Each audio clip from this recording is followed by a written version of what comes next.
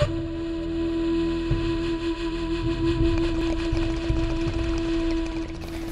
what's up, Stars? Welcome to another local band Smokeout. I'm your host, Highland Most BG, and today we are doing funk dancing for self-defense with Pretend out of Werribee, Victoria, Australia. Facebook.com slash funk dancing for self-defense.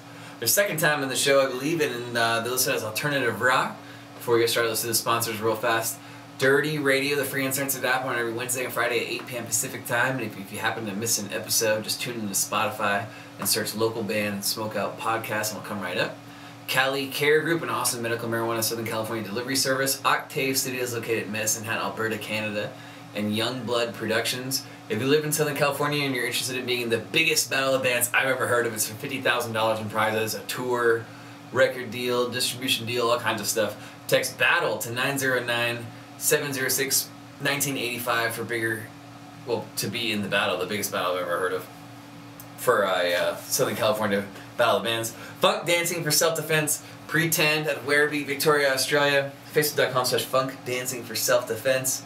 I always find it strange how defense is spelled with a C instead of an S. Australia versus the United States. But regardless, spark it up, you got it. Here we go.